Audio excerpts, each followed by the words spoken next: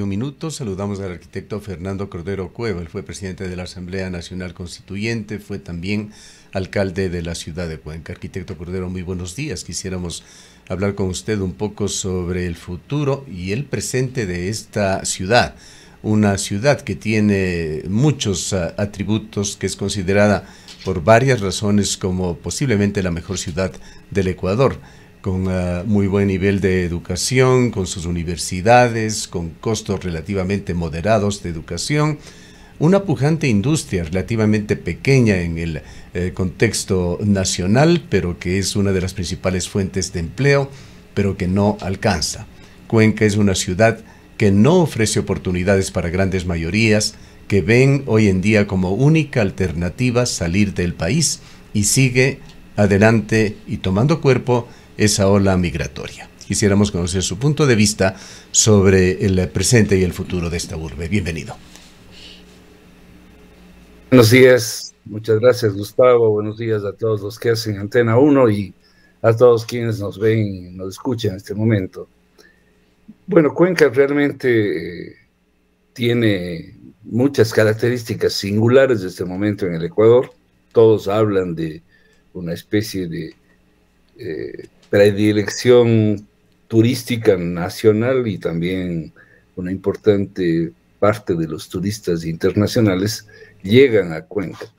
Pero efectivamente la migración de toda nuestra zona no ha parado para nada.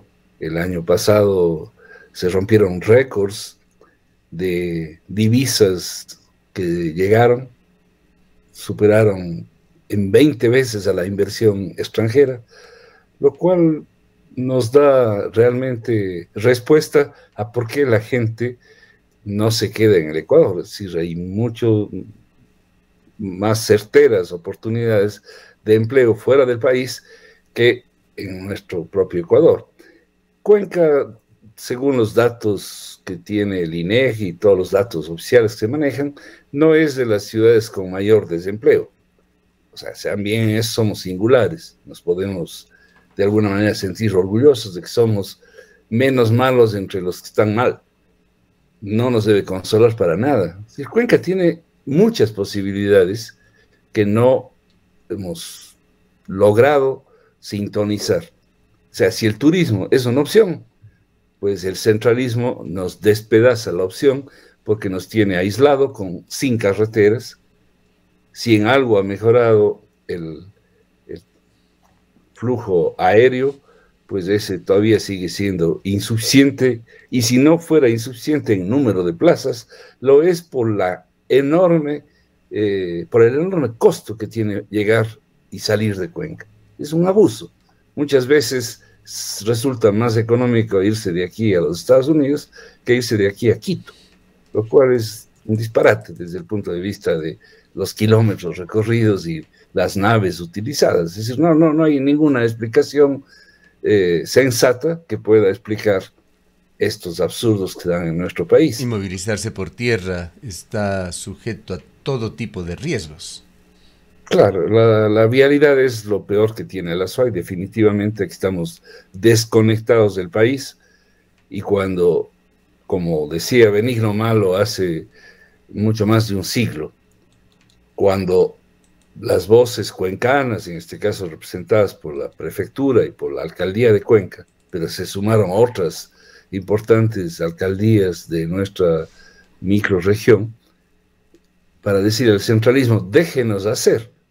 Benigno Malo decía, hablando del camino que hoy día le llamamos la vía por cajas, déjenle hacer eso a Cuenca, porque de lo contrario el centralismo no lo hará nunca pues se cumplió esa profecía. No lo hubieran hecho nunca si es que el, CREA no tomaba la iniciativa de abrir pues, el camino por el Cajas, que finalmente hoy día es una vía rápida, de la más rápida que tenemos, sin ser la mejor, sin ser expedita todo el tiempo, es decir, también está sujeta a los vaivenes de, del inadecuado trazado, del, del, haber despedazado la montaña para abrir una vía en vez de hacer túneles que a lo mejor la plata del CREA no avanzaba para ellos, la del, la del Estado sí, pues nos han engañado y nos seguirán engañando. Hace dos años se firmó un convenio supuestamente con Corea, que creo que no ha pasado del acto público y de las fotos que nos exhibieron en ese momento en el gobierno del señor Lazo.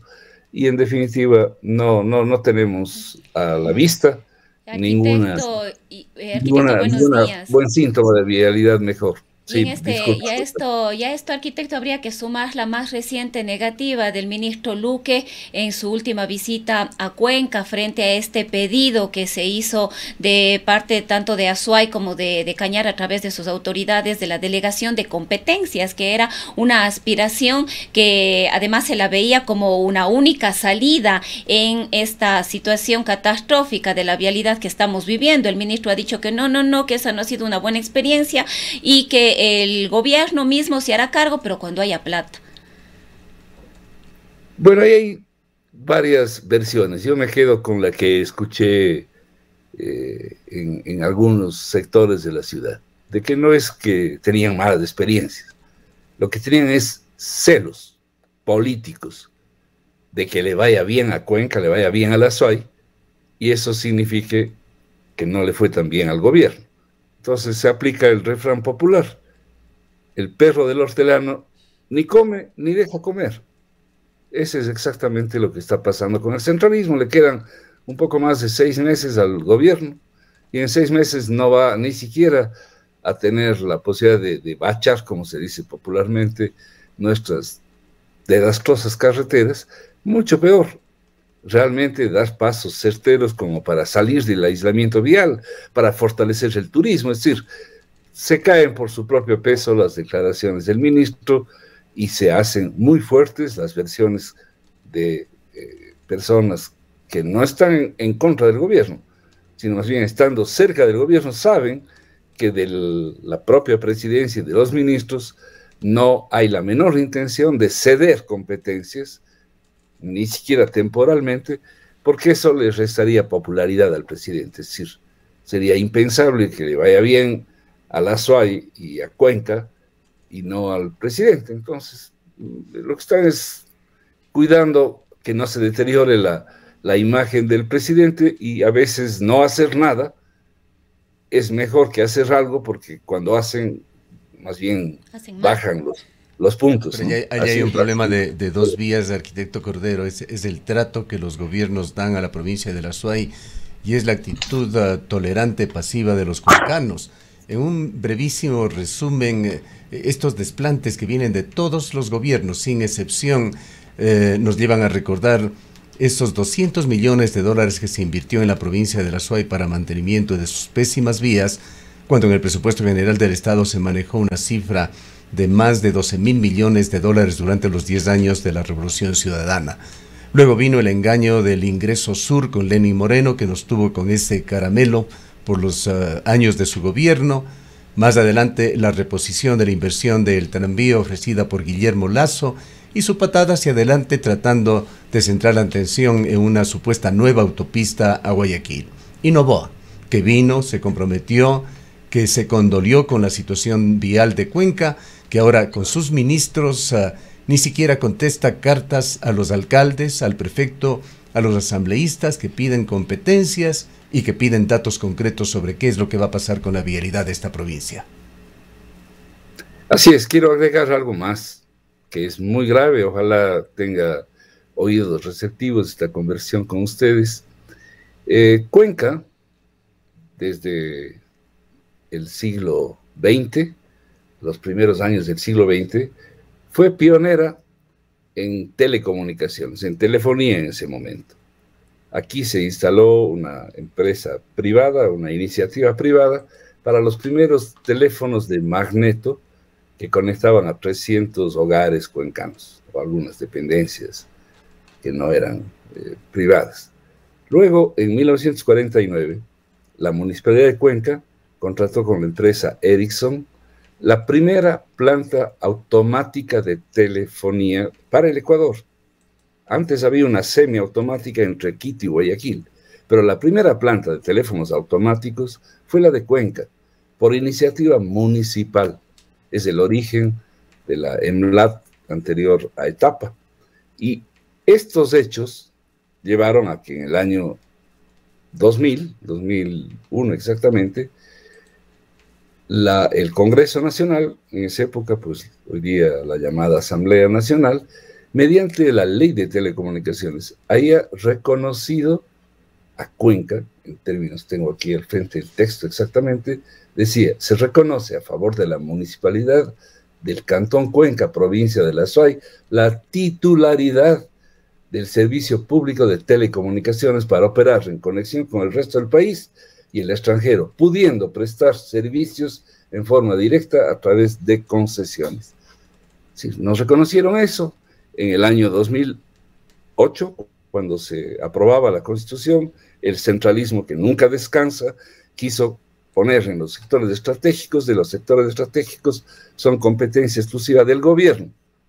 Mucha gente, no solamente yo, muchísimas gentes que no solamente éramos cuencanos, nos opusimos y quedó en la Constitución Estado en vez de gobierno.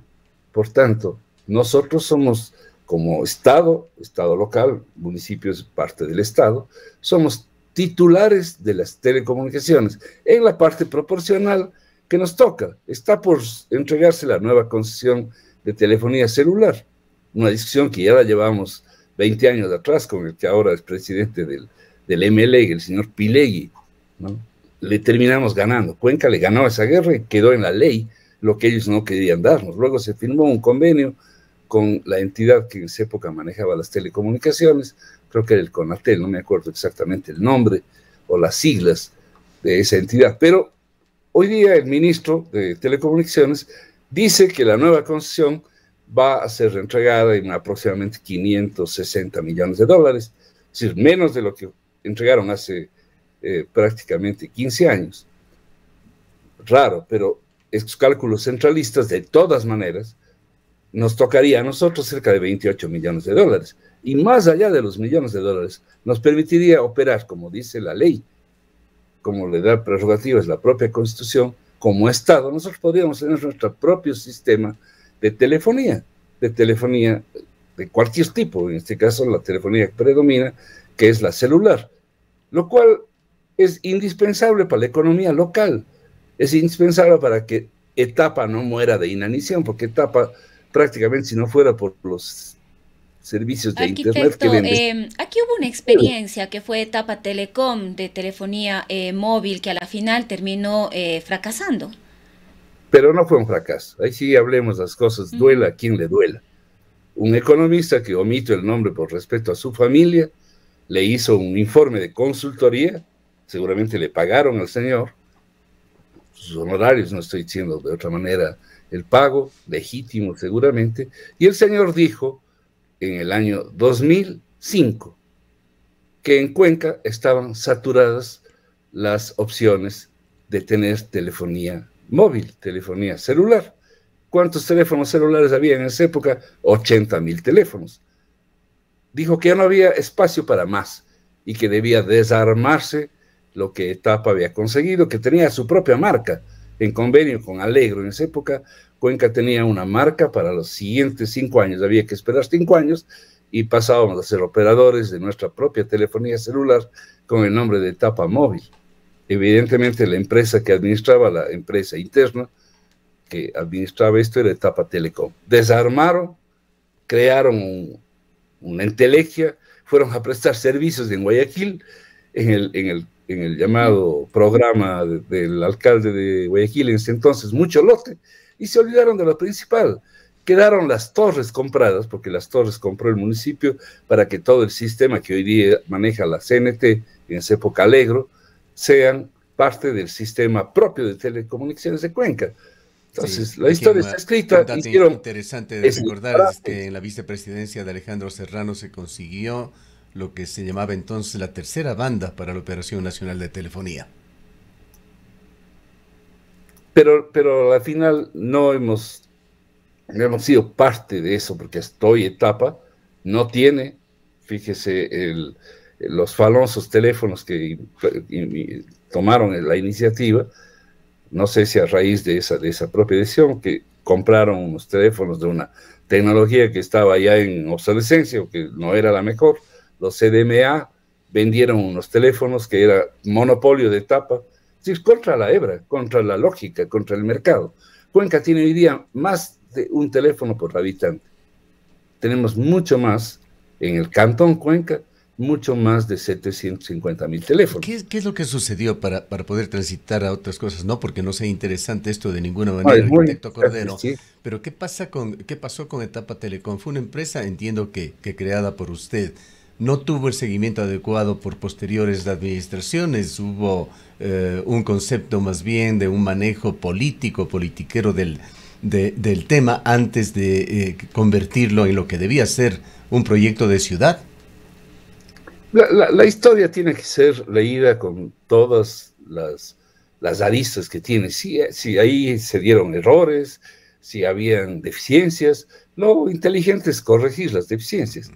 Yo creo que habían más beneficios y más ventajas que, defectos. Pero si algún error se habría deslizado en esta eh, creada empresa por etapa, que le llamaron etapa telecom, le llamamos pues etapa telecom, pues se arregla, se arregla con decisiones inteligentes y oportunas. Votar eso al tacho de la basura es una irresponsabilidad, saliendo dueños, porque no nos han regalado yo escribí hace unos días un pequeño artículo que ojalá decía ese artículo caiga justamente en manos del señor alcalde, de los señores concejales, porque ellos son los que representan a Cuenca en este momento, en el Consejo Cartonal y en, la, y en la alcaldía. Ellos son los que deberían enarbolar y reivindicar este derecho de Cuenca, porque los derechos no se pierden. Nuestra propia constitución dice figuradamente que no hay retro, no hay cómo eh, eh, reducir los derechos. Y Cuenca tiene un derecho reconocido, además de en la Constitución, reconocido en la ley de telecomunicaciones, que es esta titularidad. Eh, es una iniciativa que creo que debemos tomarla los cuencanos y, olvidarnos de, los errores del pasado, si es que han habido. Yo creo que los errores los cometieron justamente los que eliminaron Etapa Telecom por Vaya, se cerró en la administración de Marcelo Cabrera, ¿es eso correcto? Así es. Recuerdo que, que se, se, dio como una razón fundamental para esto, el, no el poco éxito económico, sino el fracaso económico. Se hablaba de una multa muy onerosa que no podía seguir absorbiendo eh, la, corporación municipal. yo realmente no, no tengo esa, esa versión, no, no me acuerdo, podría ser. Eh, cualquier defecto, cualquier... Eh, eh, en este caso pretexto, es bueno cuando se tienen las intenciones preconcebidas. No querían, igual que lo que pasa con el centralismo. O sea, ¿por qué no le dan las concesiones a Cuenca? Porque no quieren el éxito. Si ese éxito se habría configurado a los que creen que uno tiene ansias de regresar a, a, ocupar. Yo he tenido más de una oportunidad de volver a ser candidato y me he negado. A ti te dije, Gustavo, alguna vez en una entrevista, cuando tú me preguntabas, no en la última elección, sino muchos años atrás, dije, yo prefiero un candidato de 40 años que uno de 60, que en esa época tenía 60, ya tengo 70, sigo pensando igual. Me parece que la vida no cambia de la noche a la mañana, es bueno que hayan cambios no solamente de personas, sino también generacionales, porque, porque el mundo no se ha parado. Entonces creo que ahí hay, así como critico esta falta de, de iniciativa, reivindico, o en este caso apoyo, una idea que es buena en cambio. Al cabo de más de 40 años, la Municipalidad de Cuenca ha tomado la iniciativa de hacer estudios de clima en el sector de Victoria del Portete para de una vez, en tres años más, confirmar o descartar definitivamente la localización de un nuevo aeropuerto en Victoria del Portete. Qué bueno, Qué bueno, porque así no tengamos mejor cantidad de frecuencias teniendo ese aeropuerto. Cuenca puede tener un puerto seco con, con vuelos de carga en un aeropuerto preparado para, para, recibir otro tipo de aeronaves, y eso ya sería una revolución económica. Aquí se puede, desde por la cantidad de, electricidad que tenemos en nuestro entorno, aquí podríamos eh, hacer muchas cosas, ¿no? Pensando en los combustibles del, del futuro, que en definitiva cada vez serán menos fósiles, podemos crear en definitiva una, una, cantidad enorme de posibilidades productivas para exportar los productos no tradicionales Alguien que vive en Europa me dice más de una vez, los arándanos son una revolución en, Europa y valen carísimos, un kilo vale como 20 dólares. Los capulí serían realmente algo extraordinario para, para Europa. Pero aquí este, los capulí están en, en, en, extinción prácticamente, ya ni los, ni los concanos creo que tenemos esta afición por los, por los capulís. Entonces, sí podemos, en medio de todas las dificultades productivas, volviendo a lo que estamos hablando de las oportunidades que tiene Cuenca, sí, pero tenemos que prepararnos.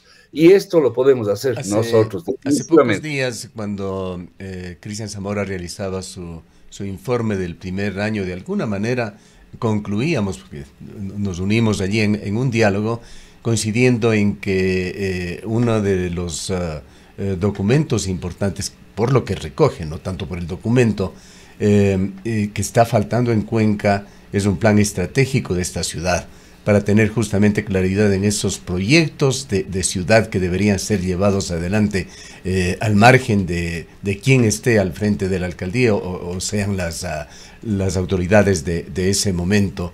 Y ah, eso también nos lleva ah, a otra reflexión sobre la cual me gustaría que usted desarrolle el tema de, de cómo afecta el centralismo al desarrollo de esta urbe.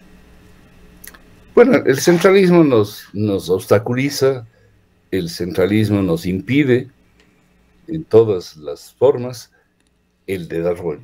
Definitivamente, no hay que perdonar. Y aquí no hay excepción. Desde Juan José Flores a la fecha, el centralismo con mil caras ha sido nuestro enemigo, no invisible, sino absolutamente visible, porque nos han dificultado todas las iniciativas. Pese a ello, pese a ello, Cuenca se ha abierto su propio espacio y tiene reconocimiento del propio centralismo de todas las épocas. Por eso mismo a veces los cuencanos que no somos orgullosos, pero creo que somos un poco vanidosos, viene cualquier mandatario, cualquier funcionario del centro y en definitiva nos, con lisonjas de, de fiesta, pues nos, nos deja convenciendo, sí, ustedes son una maravilla, ¿para qué necesitan de nosotros? Y con eso se lavan las manos y no hacen absolutamente nada. Cuenca tiene muchísimas posibilidades, pero sigue siendo, por ejemplo, per cápita, la ciudad que tiene mayor cantidad de empleo industrial. Per cápita somos la primera ciudad, a ver, rectifico, Cañar la primera, la primera provincia y me parece que eh, Biblián, o, la zona de Biblián eh, y Cañar, pues eh, tiene mayores ingresos per cápita que Cuenca, pero en términos nacionales nosotros tenemos una, cantidad de divisas que significa pues todo el sacrificio de nuestra gente joven y no tan joven que fue a trabajar fuera del país y, y remite pues dólares que han significado no solamente importante desarrollo para sus familias, porque han, cambiado sus pautas de consumo, han permitido una cantidad de cosas buenas y otras también no tan buenas, pero finalmente no es despreciable que en desde el año 2007, que tiene estadísticas del Banco Central, hasta el 2023, cerca de, de 53 mil millones de dólares hayan, hayan ingresado al Ecuador. Es decir, esto no solamente ha salvado la dolarización, sino realmente por lo menos el 15% de eso, y que apliquemos al caso de Cuenca, se han invertido en, bienes de, larga duración, viviendas. Tiene una, eh, faceta tremenda, tremendamente dolorosa. Con, eh, claro, es, es, dual, ¿no? Porque en definitiva el dolor de las familias destrozadas, divididas por esta falta de empleo local, pues reciben esta comprensión que no solamente les beneficia a ellos, sino realmente ha permitido que la dolarización se mantenga 20 años pese a los desaciertos económicos internos que han cometido los, los, gobiernos, ¿no? Entonces, Ahora, eh, arquitecto, ¿considera de pronto usted también, eh, quizás arquitecto, considera usted que ha habido falta eh, de unidad, de hacer una sola fuerza entre los cuencanos, las cuencanas, sus autoridades, el sector productivo, el sector de la, de la academia? ¿Ha faltado esto también para de alguna manera tener una posición única, más fuerte, que aúne esfuerzos y a través de esto exigirle al Estado la atención que, además es urgente. Tenemos que hacernos mea culpa a todos, porque desde el punto de vista conceptual y propositivo, creo que no han faltado iniciativas. Yo recuerdo, y cuestión de revisar la, la documentación, el famoso Plan 2020, Plan Estratégico de Cuenca 2020, que justamente terminó en el año 2020, que fue una iniciativa realmente amplísima de todos los sectores, académicos, productivos, sociales, es decir, quién no participó en la elaboración del, plan de, desarrollo estratégico de Cuenca, que hoy día coincide con Gustavo, pues no tenemos, no, no, no tenemos ese documento. Es decir, sí, sí lo tuvimos y muchas de esas cosas siguen siendo válidas, pero lo que sí nos falta, y ahí todos tenemos la culpa, es esa, esa unidad con una energía eh, propositiva en, el sentido más pragmático, es decir, no podemos contentarnos con migajas y eso lamentablemente nos sigue pasando.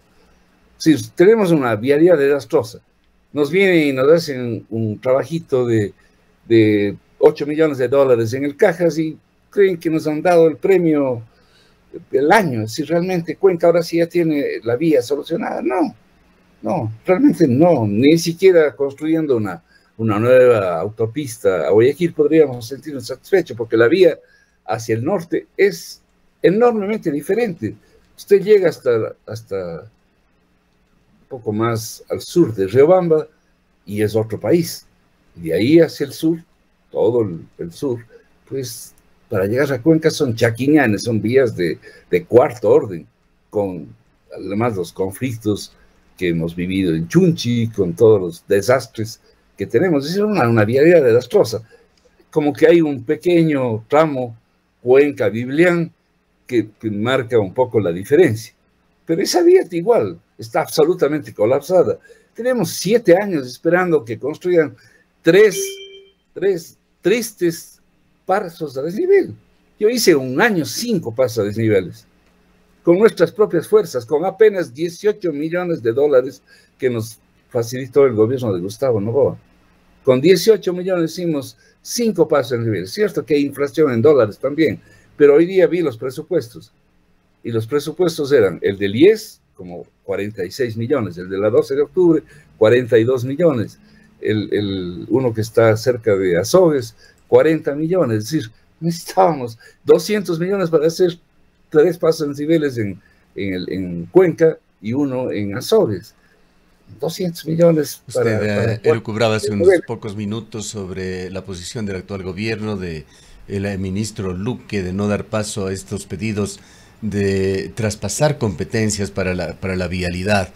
Claro, pero eh, esta de aquí, si es que ellos lo quieren hacer, que lo hagan que lo hagan, ya, que hagan, que llamen a concurso y, entreguen esa, esa licitación. Pero hasta en eso, el centralismo es inútil, inútil, porque, a ver, sin necesidad de hacer un concurso, si le entregan a la, a la, propia empresa pública, municipal, a cualquiera de las empresas públicas, se libran de eso y, hacen en comanditas, en conjunto, seleccionan ¿cuáles, contratistas. considera usted son las, mecanismos y nosotros los colombianos les hemos enseñado al centralismo. ¿Cuáles considera usted, arquitecto Cordero, son las competencias que deberían descentralizarse desde el Estado? Realmente la, la configuración de competencias exclusivas que están en la Constitución eh, dejan un espacio muy, eh, yo diría, muy útil a los municipios, a las prefecturas, pero en la práctica, lo que dice la Constitución, todavía no se lo ha hecho, que es hacer un estudio de cuánto se necesita para esas competencias. A ver, por ejemplo, la competencia de la vialidad no urbana, de la vialidad que no es imputable al espacio urbano que definen los municipios, es competencia de la prefectura. Mediante una ley, lo cual tampoco está rompiendo la Constitución, mediante una ley aparecieron unas supuestas vías estatales. Estas vías estatales que a nosotros nos han traído solamente dolores eh, y, trámites inútiles con el centralismo. En esas vías aparecen estos policías del centralismo que lo que vienen es a buscar coimas y no a controlar el tráfico ni a, ni a mejorar la, fluidez. No, esas, esas cosas nos llegan del centralismo. Entonces ahora tenemos unas vías estatales que supuestamente son competencia del gobierno y no, como dice la Constitución, de la prefectura. La prefectura es la que debería hacer los tres pasos a niveles si no están en las vías urbanas.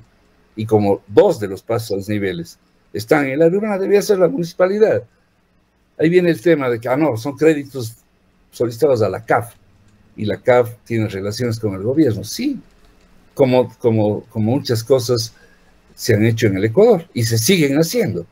El, ministro está pensando en una inversión de 2.200 millones de aquí a que se concluya el gobierno.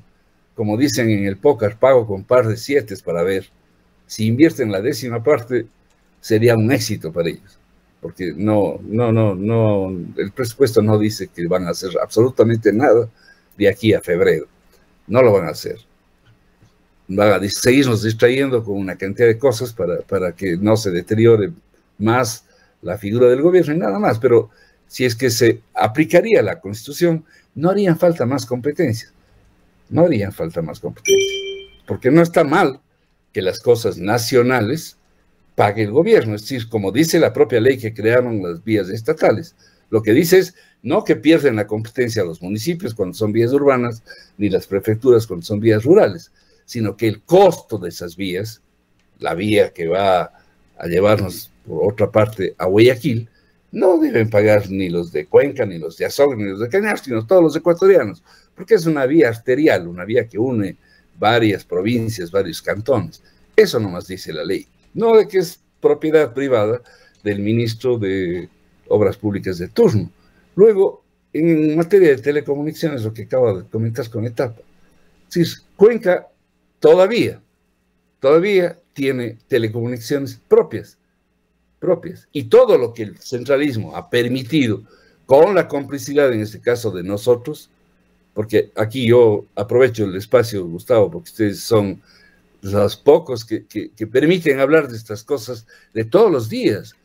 Todos los días nos cobra el municipio de Cuenca contribución de mejoras por las vías que se mejoran. Unas cobran a los rentistas, otras cobran a toda la ciudad. Pero en todas las vías nuevas que se vienen construyendo desde cuando yo era alcalde, más de 20 años, se obliga a poner ductos, hasta nueve ductos perdidos, hundidos, subterráneos, en las veredas. ¿Para qué son esos ductos? ¿Para qué? Para la telefonía que tapa ya no maneja. Por lo menos deberían ser para las empresas privadas que han pululado en Cuenca con servicios de banda ancha, con cable, con, en este caso, fibra óptica, etc. Hoy día los postes dan vergüenza. Yo me acuerdo cuando estudiaba arquitectura, que alguna vez nos fuimos a Guayaquil con profesores y nos burlábamos porque una visita veíamos los famosos tallarines, porque en Guayaquil se robaba energía de los postes, de los transformadores, con alambres que cada domicilio de nos inversión así. Esos tallarines, ahí la explicación era la falta de dinero de la gente. Acá no, las que están ganando millones de dólares compitiendo con Etapa, ni siquiera ponen en los ductos. Y Etapa los tiene guardados porque no los está usando. Sí, y allí, allí surge un, nombre, arquitecto Cordero, eh, Esteban Albornoz. Hubo uh, rumores que luego se concretaron en el sentido de que él había sido contratista de, del municipio de Cuenca y efectivamente entendemos que así lo ha sido, eh, justamente para trabajar en un proyecto para... Eh, se me va el, término correcto, pero para eh, enterrar todas las, las, ah, los cables. Los cables de, los distintos servicios en la ciudad de Cuenca, que ojalá sea un, municipio, un, proyecto relevante, eh, bien realizado y que se lo pueda llevar adelante. Y más allá de las, de las personas, porque entiendo que cada quien pues busca a los más competentes y, en buena hora si este proyecto llega a concretar, porque no, ni siquiera necesitan hacer. En los que están hechos, que son cientos de kilómetros, ¿qué esperamos para obligarles? Obligarles y el costo, el costo de ocupar ductos pagados por nosotros debería ir en beneficio de, quienes, eh, en este caso, pues, nos representan públicamente. Es decir, etapa pasa a ser dueño una vez que nosotros pagamos la contribución de mejoras. No es que somos condueños de los ductos, no, no, ya nos cobraron y nos cobraron por poner los tubos porque supuestamente eso le va a hacer mejor a Cuenca. La palabra que se me escapaba es el, soterramiento. Pero eh, vayamos, vayamos a, un tema más, más amplio, eh, que usted lo tocó ya parcialmente, esto del plan estratégico de la ciudad de Cuenca que requiere de una actualización. ¿Cómo considera usted deberíamos asumirlo hoy en día? Nuevamente estas, estas formas, en definitiva, participativas, Sí, se pueden hacer desde muchas partes.